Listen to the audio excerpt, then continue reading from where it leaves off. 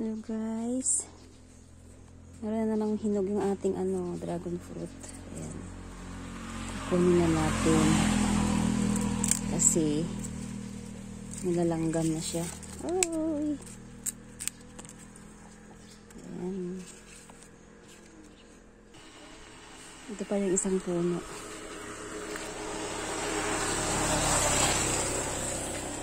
Ito naman maliit lang bunga niya. Oh.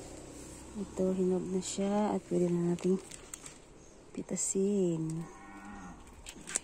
Ah! At ayun yung isa, oh. Maabot.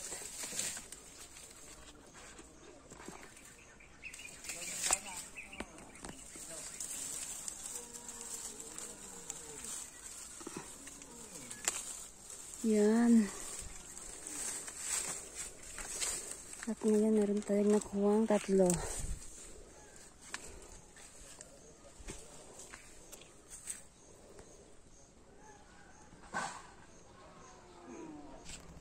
Yan, meron tayong nakuha tatlong dragon fruit.